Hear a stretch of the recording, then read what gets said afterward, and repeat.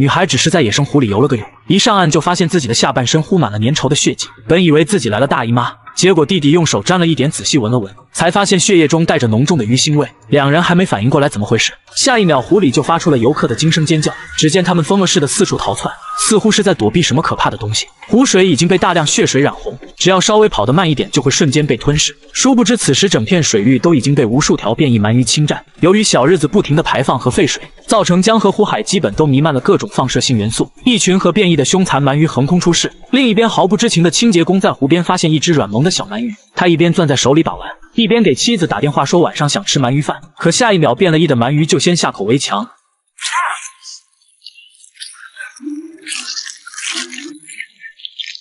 当他好不容易连皮带肉扯了下来，没想到湖里突然涌出更多的小可爱，向清洁工发起进攻。他被吓得直接原地瘫痪，已经忘了腿是干什么用的。紧接着就被鳗鱼一口吸附在那锃光瓦亮的脑壳上，成为了鳗鱼的小零食。可这点食物还不够鳗鱼们塞牙缝，他们又开始寻找新的目标。一个老头正坐在河边钓鱼，突然就被扑上来的鳗鱼一口咬掉了眼睛。一旁的二哈只能眼睁睁地看着主人被拖进水里啃食殆尽。随着附近玩耍的游客接二连三的死去，泰迪警官带着助理前来调查。他们在河里发现了几只死去的鳗鱼，尖嘴獠牙，看起来十分凶残。泰迪可以肯定，这些鳗鱼已经变异成会吃人的猛兽。可其中一个同事却不以为然，还独自坐着小船，打算去湖中心寻找更多的鳗鱼样品。他刚准备喝点小酒放松心情，就被鳗鱼直接拖下水。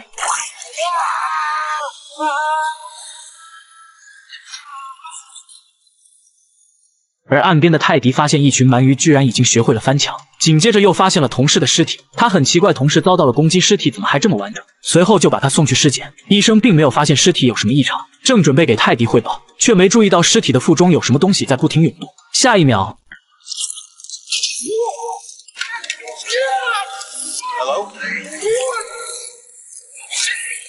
泰迪听到电话里痛苦的嚎叫，就猜到发生了什么。等他马不停蹄地赶来医院，就看到医生已经惨死在地。顺着地上的血迹，发现鳗鱼可能已经钻进了下水道，这就意味着那些怪物可能随时会进入到居民家里。于是泰迪赶紧通知市长，他认为应该立马封锁所有野生湖和下水道，进行仔细排查，避免更多的人遭受攻击。可市长却说这样做不仅会耗费大量的人力财力。还会造成百姓的恐慌。不就是一群鱼吗？一人吃一条就能让它灭绝，根本不会对人类造成任何威胁。殊不知市长的不作为将造成无法挽回的灾祸。首先遭殃的就是他自己，他正在沉浸式拉屎，完全没注意到马桶里涌出无数只变异鳗鱼，一口下去就瞬间让他菊花残败。男人挣扎着想站起身，然而。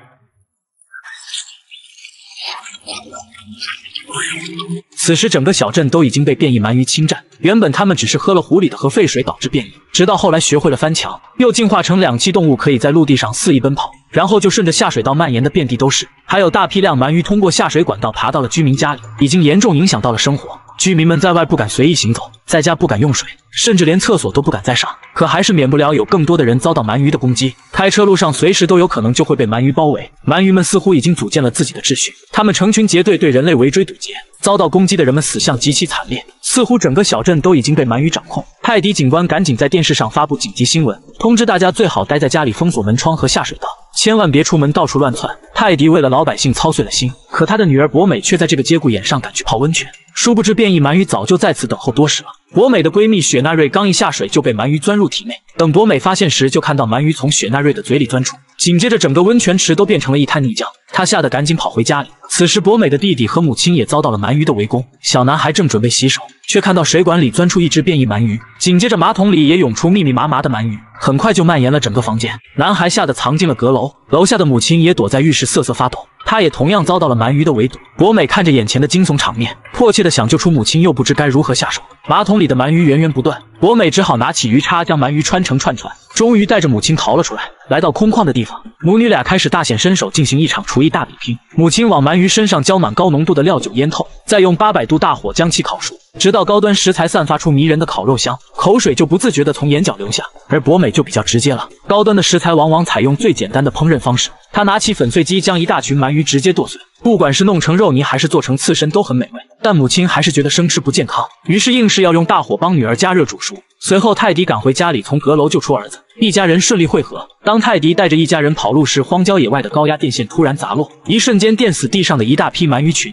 这让泰迪有了好想法。目前看来，电击才是快速解决所有鳗鱼的最好方式。由于变异鳗鱼最喜欢腐肉的腥臭味。所以泰迪决定用大量动物的腐肉将鳗鱼引到发电站的蓄水池中，结果他们投进去的肉量不足，吸引来的鳗鱼只有一半。于是泰迪的同事决定牺牲自己拯救全人类。同事准备用自己独有的狐臭吸引来更多的鳗鱼。他趁泰迪不注意，悄悄跳了进去。很快，所有的鳗鱼都被那独特的狐味吸引。同事当场惨死于数万只鳗鱼之口。紧接着，他们打开电闸，下一秒，发电站内部当即化身为一个巨大的烤箱，所有鳗鱼全都被烤得滋滋作响。小镇居民这一年都有的吃了。本以为他们顺利消灭了鳗鱼，生活终于平静。然而这天，一个男人正在路边喝水，他的二哈好像看到了什么东西，冲着下水道不停狂吠。下一秒。